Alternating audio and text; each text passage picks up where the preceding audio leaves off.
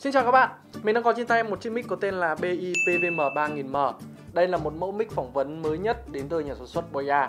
Và nhắc tới Boya thì chắc hẳn các bạn cũng không còn xa lạ gì về thương hiệu sản xuất này. Đây là một trong số những à, thương hiệu sản xuất đồ phụ kiện máy ảnh à, cũng vô cùng lớn trên thế giới. À, Và ngày hôm nay mình sẽ giới thiệu tới quý vị và các bạn chiếc mic PVM 3000M này. Hy vọng nó sẽ đáp ứng được nhu cầu sử dụng của các nhà làm phim chuyên nghiệp cũng như là nghiệp dư. Và ngay sau đây chúng ta sẽ cùng đi vào chi tiết chiếc mic PVM 3000M này nhé và cũng như thường lệ à, đối với những cái chiếc mic phỏng vấn đến từ nhà sản xuất Boya thì à, nó luôn có cho chúng ta một à, chiếc túi đựng vô cùng chuyên nghiệp. Đó, có in chữ Boya tên nhà sản xuất. Rồi à, đồ phụ kiện thì bao gồm thứ nhất chúng ta có một chiếc gá gài mic. Với chiếc gá gài mic này thì các bạn có thể sử dụng uh, gài mic lên trên đầu Hotsu nếu các bạn không muốn cầm uh, phỏng vấn như thế này. Đó. Uh, hoặc không thì chúng ta cũng có thể sử dụng gài lên những chiếc uh, bom mic để giúp các bạn có thể làm cái cần bom. Như này. Ở dưới đây thì nó có một đầu hot su và một đế ốc 1 phần tư. Với đế ốc 1 phần tư này thì các bạn à, có thể gài lên chân đèn hoặc những cái loại chân mà nó có đầu ốc 1 phần tư nó cũng vô cùng tiện lợi. Và tháo cái phần hot su này ra thì chúng ta sẽ có một đầu là đầu ốc 3 phần 8 Đó. chúng ta có thể sử dụng uh, hai loại đầu ốc. Ok. À, tiếp theo đến chúng ta sẽ có một uh, à không phải một là bốn à, chiếc vòng cao su. Với chiếc vòng cao su này để các bạn có thể thay thế lên à, cái phần à, bom mic như thế này. Cái đế cá gai mic. Đó.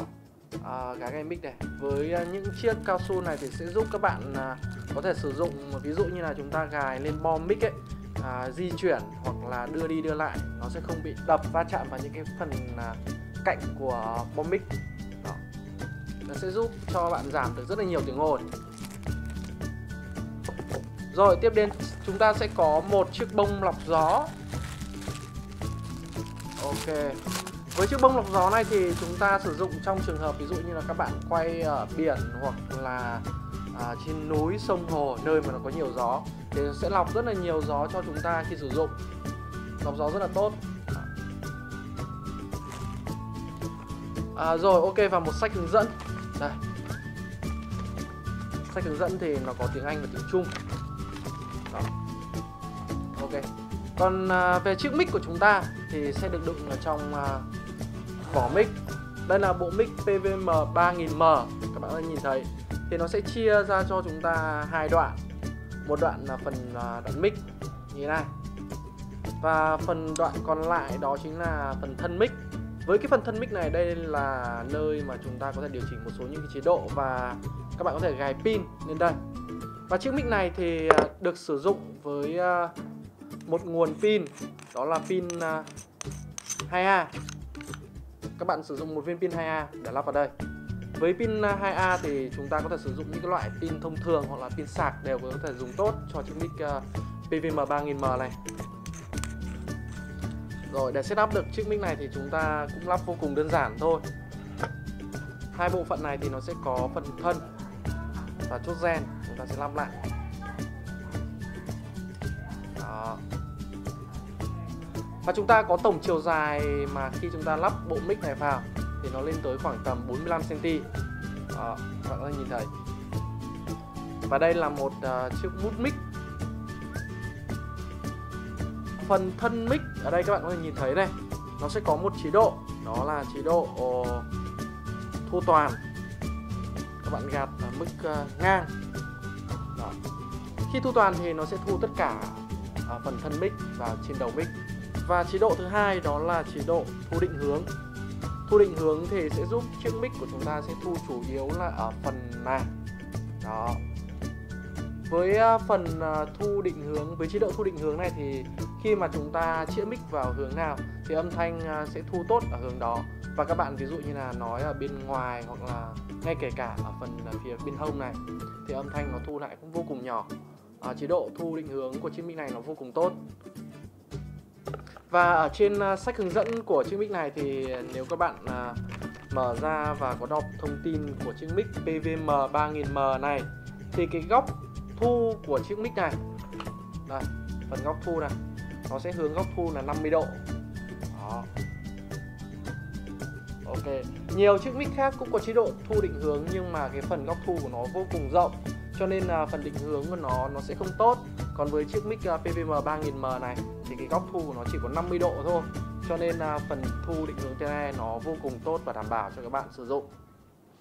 Và vừa rồi mình đã giới thiệu cho các bạn một số những cái à, đặc điểm bề ngoài cũng như là chức năng của bộ mic PVM 3000M còn về chất lượng âm thanh của chiếc mic này nó sẽ ra sao?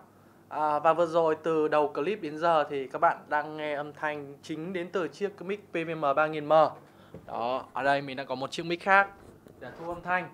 Và chất lượng nó như thế nào thì à, các bạn hãy đánh giá ở phần comment phía bên dưới. Liệu rằng nó có đáp ứng được nhu cầu sử dụng của chúng ta hay không? À, Và đây thì mình sẽ test thử một số những cái chế độ Ví dụ như là định hướng hoặc là thu toàn để các bạn à, có thể thấy được. Đầu tiên là chúng ta sử dụng chế độ thu toàn. Đó, đây.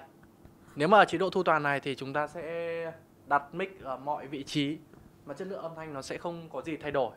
Ờ, alo, alo, alo, alo, alo, alo 1 2 3 4 5 6 7 8 9 10. Rồi tiếp theo đó chúng ta sẽ test thử chế độ đó là chế độ định hướng. Các bạn gạt ở mức trên cùng. Rồi. Khi mà định hướng này, alo tên mic 1 2 3 4 5 6. Đây là sẽ hướng về phía chúng ta nói.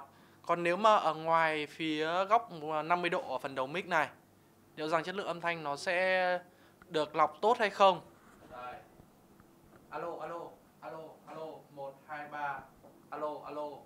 Mình có thể nói sát hơn. Alo, alo. Đó. Ok. Còn về phía ngoài phía sau này gần như là âm thanh nó sẽ không thu vào mic. Đó là một điểm lợi thế cũng như là ưu điểm lớn nhất của chiếc mic PVM 3000M này. À, và chúng ta sẽ thử test thử âm thanh ở ngoài trời xem sao. Ở đây thì à, ở trong phòng kín. Tuy có tiếng điều hòa nhưng mà nó cũng sẽ không có tiếng ồn nhiều bằng ở ngoài trời. À, ngay bây giờ chúng ta hãy cùng à, test thử ở bên ngoài nhé. Và âm thanh các bạn đang nghe trực tiếp đến đây đến từ chiếc máy ảnh 5D Mark 3 và mình không sử dụng mic. Mình đang ở một nơi nó rất là ồn. Đây các bạn có thể nghe được rất là nhiều tiếng xe cộ và khói bụi chúng ta sẽ lắp thử chiếc mic PVM 3000M này vào và xem liệu rằng nó sẽ lọc tạp âm xe cộ ở đây nó tốt như thế nào nhé à, và bây giờ mình đang sử dụng chiếc mic PVM 3000M đó các bạn có thể so sánh được chất lượng âm thanh khi mà chúng ta sử dụng mic và không dùng mic ở một nơi à, rất là nhiều tiếng ồn à, hy vọng với chiếc mic này nó sẽ đáp ứng được nhu cầu sử dụng của các bạn làm phim chuyên nghiệp cũng như là nghiệp dư À, và để biết thêm thông tin chi tiết cũng như là đặt mua sản phẩm mic PVM 3000M này, các bạn vui lòng click vào đường link phía bên dưới clip hoặc gọi điện trực tiếp tới số hotline bán hàng của chúng tôi. Xin chào và hẹn gặp lại các bạn ở những video sau. Theo dõi nhiều hơn các clip bằng cách nhấn nút subscribe bên dưới các bạn nhé.